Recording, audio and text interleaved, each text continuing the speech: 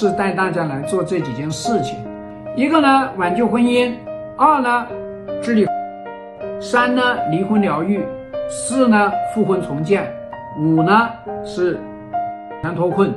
我们说，先说第一，挽救婚姻。大家知道了，婚姻出现问题呢，除了之外，还有别的问题。你比方说有婆媳问题啊，导致的要离婚呢；有子女的教育问题导致要离婚啊，对吧？还有夫妻两个人老吵架啊，啊要离婚的也有很多啊，因为债务的原因呢，像有很多人呢，呃去搞假离婚，结果假离婚变成真离婚啊。还有呢，就是说婚姻进入了这个疲劳期啊、倦怠期啊。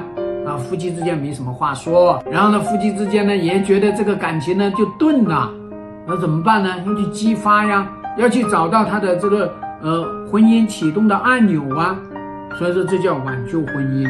那你们之间有感情基础这些东西，就是肯定要去挽救的。所以我们有这个叫做呢，我们都是有挽救婚姻五个标准，那按照这个标准去评估，看这个婚姻要离还是不要离。所以大家要知道呢，就是说这一项呢。也有很多人要来挽救啊，这个婚姻它本本身也没有什么说是什么，也没有。那我们要。